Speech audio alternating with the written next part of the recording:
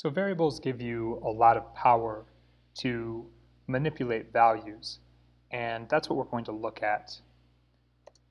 I'm going to create a variable x, and I'm going to assign to it the value of 10. There's an idea of an incrementation operator. And you've seen some operators already, right? We've seen addition, subtraction, multiplication, um, we can do this. We can print 10 times 20, and sure enough, we're going to get 200. We can also print x times 20, and we'll see an output of 200. What if we want x to change? So currently x is pointing at the value 10, but what if we want to point x at the value 200? I can do something like this. x times gets 20, and then if I print x, by the time the code gets to line 5, x will be 200. Now, this is just a shorthand that we're seeing on line 3. x times gets 20.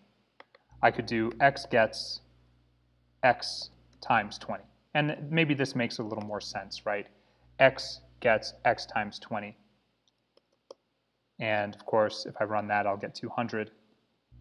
And to make this maybe a little more clear, maybe I'll assign the result of this operation to y, and then maybe I'll assign, y back to x. And sure enough, we're going to get 200.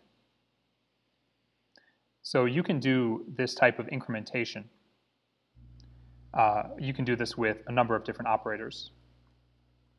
And let's just demonstrate that. So I'm going to print x if we subtract 20 from x.